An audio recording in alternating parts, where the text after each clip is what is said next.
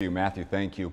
31-year-old man was found shot to death in a car this morning in downtown Louisville. LMPD found the victim in a car on West Main Street around 1.30 this morning. The coroner has identified the person as Devonte Beach. According to police, he'd been shot several times in a car just outside of the Louisville Slugger Museum. EMS was called, but Beach died at the scene. LMPD's homicide unit is investigating the shooting, but right now there are no suspects. If you know anything or have any information about this, call 502 574 LMPD. As always, you can stay anonymous.